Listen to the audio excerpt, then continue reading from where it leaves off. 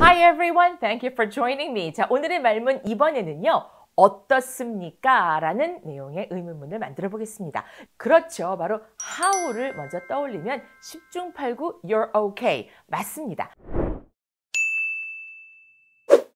how와 비동사가 합쳐져서 어떻습니까? 혹은 어땠습니까? 라는 문장을 만들어 보도록 하겠습니다. 먼저 안부를 묻는 그런 인사말에서 사실 how가 가장 많이 익숙하게 여겨지지 않나요?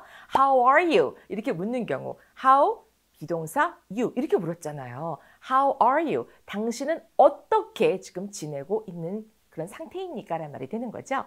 자, 이번에는 how와 is로 연결을 해보겠습니다. 음, 그 누구누구는 어떻게 지내십니까? 라는 말이 되는 거죠. 현재 요즘 어떠냐라는 뜻으로 말이죠. 당신의 가족은 어떻게 잘 지내시나요? 라고 물을 때 How is your family? How is your family? 라고 물을 수 있습니다. How is your family? 그런데 your family가 그 안에는 한 사람이 있을 수도 있겠고 열 사람이 있을 수도 있거든요. 그러나 your family를 하나의 한 개의 단위로 쳐서 가족 이런 단위로 쳐서 단수로 보통은 보게 됩니다. 그래서 how is your family?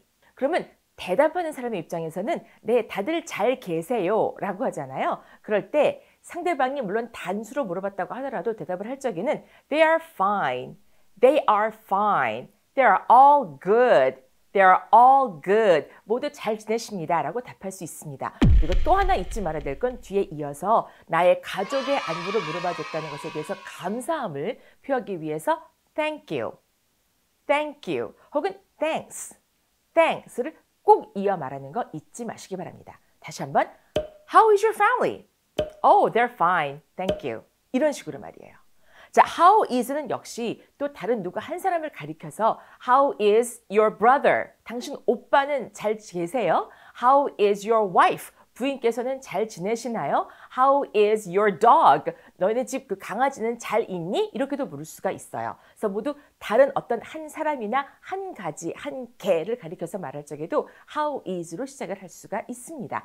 물론 여럿을 가리켜 말할 적에는 how are you 이외에도 how are 뭐 예를 들어서 your staff members 당신의 스태프 모든 멤버들은 어떻게 지내나요? How are they? 그들은 어떻게 지내나요? 라고 물을 수도 있는 거죠. They are fine. They are all good. 자, 이번에는 사람이 아닌 사물에 대해서 그것에 대해서 당신의 느낌이 어떠하냐라고 묻는 경우가 되겠습니다. 자, 음식을 먹고 난 다음에 여기 어떻게 음식은 마음에 들어요? 입맛에 맞아요? 어때요? 라는 뜻으로 So, how is the food? How is the food? 이렇게 말할 수 있어요. How's the food? Do you like it? How's the food? Do you like it? 이렇게 물을 수도 있어요. 그 음식이 어때요? 그야말로 당신의 느낌을 말해달라라는 뜻이 되는 거죠. 예를 들어 어디 그 병원을 갔는데 이제 그 문병을 하러 의사 선생님을 뵙고 난 다음에 환자는 어떻습니까? How is the patient? How is the patient? 라고도 물을 수가 있겠죠. 그러나 내가 아는 사람일 경우에는 How is John? How is Mary? 그 사람의 이름을 또 칭해서 물을 수도 있는 거고요. 모두 그 사람의 상태가 어떤지 조금 구체적인 답을 듣고 싶을 적에도 이렇게 물을 수가 있습니다. 이런 경우는 어떨까요? 날씨가 어떻습니까? 잘 아시는 표현이죠? 날씨 어때요? How is the weather?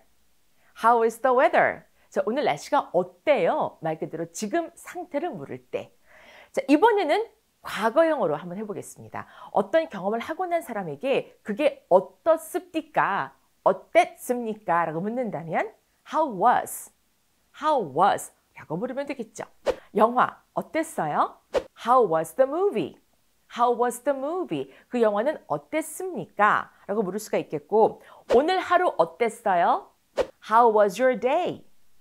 How was your day? 오늘 하루 어땠나요? 라고도 물을 수가 있겠고 자 이제 비행장 뭐 공항에 가서 누구를 마중하겠다라고 할 적에 이제 막 나오는 사람에게 Hi, how was the flight?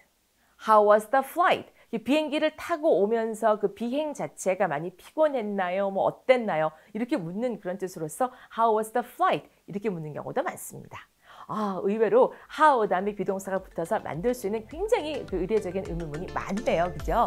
직접 일부러 많이 연습하시기 바랍니다. I'll see you next time. 구독과 좋아요, 댓글과 알림 설정 잊지 마세요.